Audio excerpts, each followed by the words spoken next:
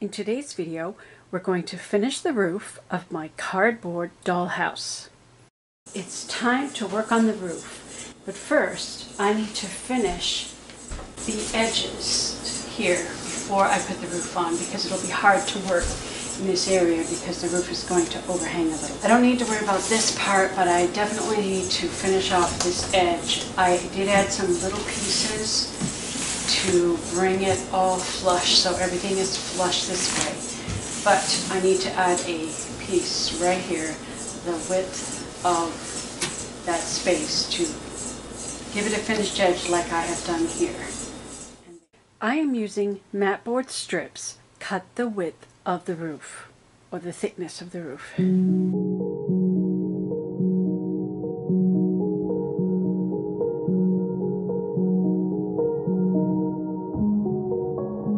This piece was too wide, so I'm drawing a line on the back side.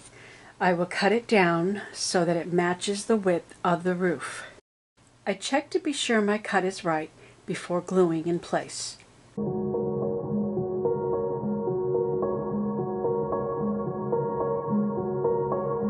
There's always one more thing. I decided to add trim on the underside of the roof for a cleaner looking edge.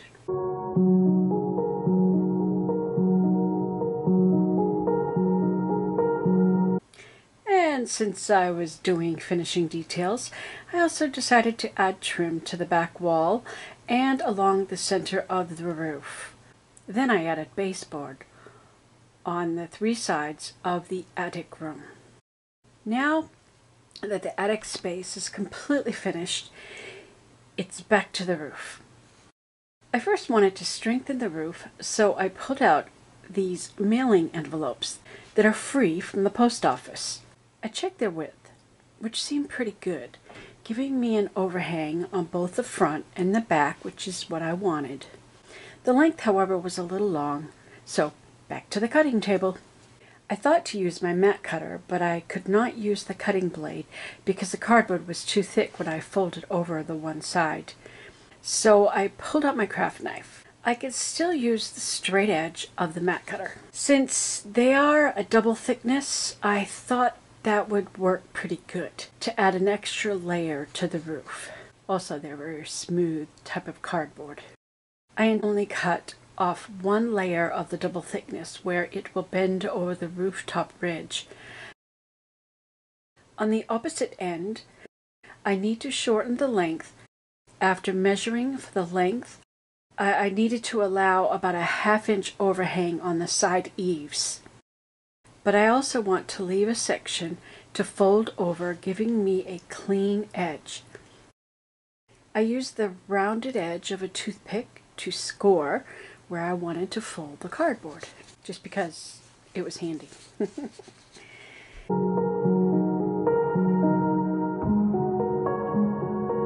They're going to fit together like this, with one layer from each side folded over top of the peak of the roof. I felt that that would be a good way to hold it and it would give strength to the very top edge of the roof as well.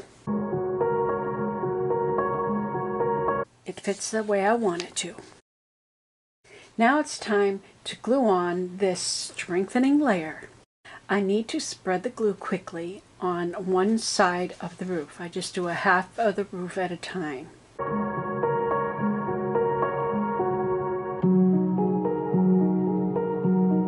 Then I glued down the flap. Using my craft knife, I made a V-shaped wedge down the center without cutting all the way through. That removed excess bulk so that I could fold the foam core at the peak. I use a white pencil to mark the length needed.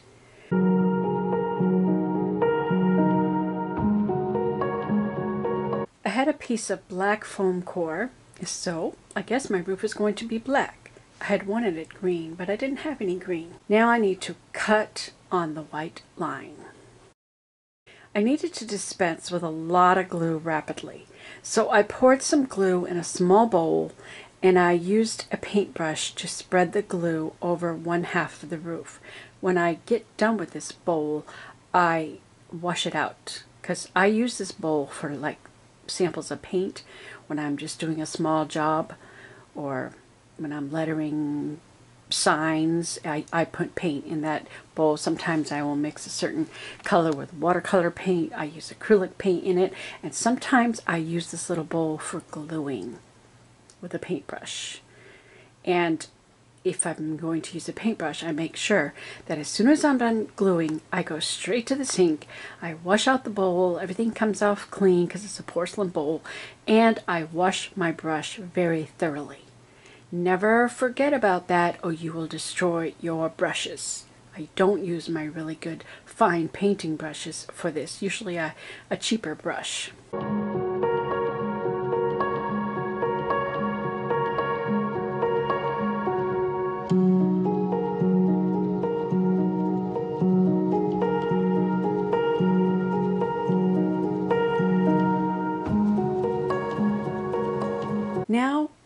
For design feature. I wanted to make the roof look like a metal roof, so I cut really thin strips of black mat board. I marked the placement of the strips with a white pencil. The width of the ruler is the distance between the strips, that way that'll be uniform all the way through. And I didn't want one on the very, very edge, so I left a little gap before I started marking them.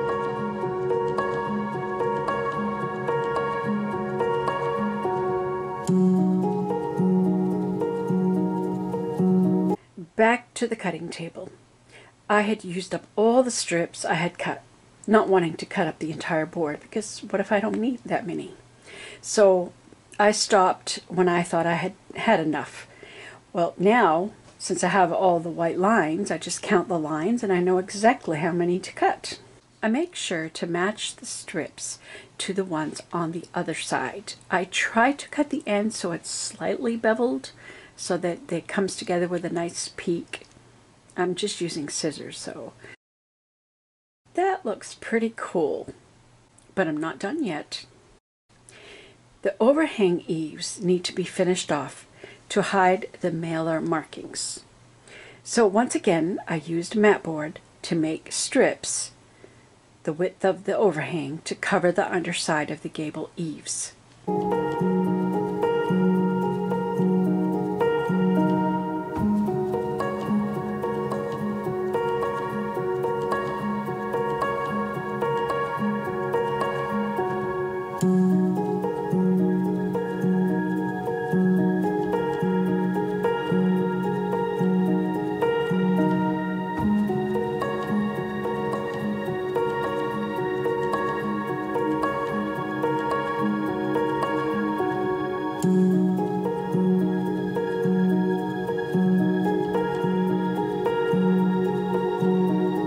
Like to have finished edges.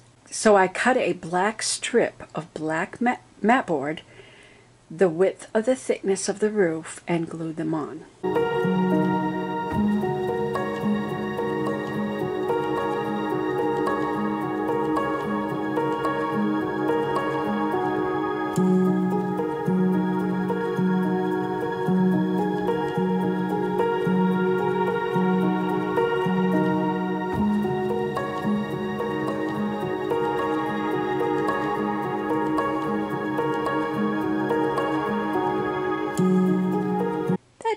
Pretty good look. But I'm still not done yet. There are two more finishing touches yet to go. Looking good. But what about the side eaves? I used white paint to paint the underside, covering up the red and blue markings of the mailing envelopes. After the paint dried, I also added black strip, cut the width needed to give the side eaves a finished look.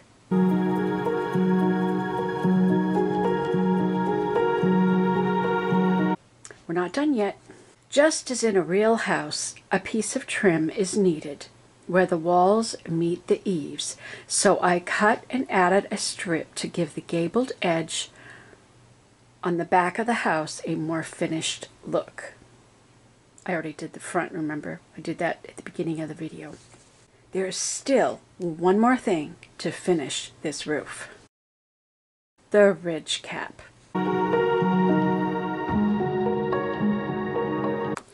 As you can see, there are gaps between the strips where the strips meet. I don't want my ridge cap to dip because then it will likely tear as the children play with it. So I strengthen the ridge by using my cut off strips to place between each long strip. I did this to both sides of the roof. Finally, I can add the ridge cap and I have lots of contact to glue it on. I'm using just a piece of poster board that I had on hand. Poster board is thin so it can very easily be folded in half. I didn't want to use anything thick because it's hard to fold something thick. I crease the fold before gluing it on. Now the roof is complete. I still have a little bit of finishing on the structure of the house to do, like covering the raw cardboard edges so that it has a cleaned finished edge. I left that for last because I still wanted you to see that, yes, this is a cardboard box, even though it doesn't look like it anymore. You would be surprised what you can make out of paper and cardboard. I have not spent any money on materials to create this dollhouse. All the supplies I had on hand. Granted, at one time I did buy the mat board and poster board, but I've had them for quite a while. Because I frame artwork, I usually keep a ready supply on hand. The only thing I had to go out and purchase was glue. Still to come are making stairs, kitchen cabinets, curtains, beds, chairs, tables, and other furnishings to complete the house and perhaps dolls to live in it. I will continue to use found materials at home. If you want to follow this project, please subscribe and hit the notification bell so that you'll be notified when I post another creative video. I hope you try to make a dollhouse yourself using these video tutorials.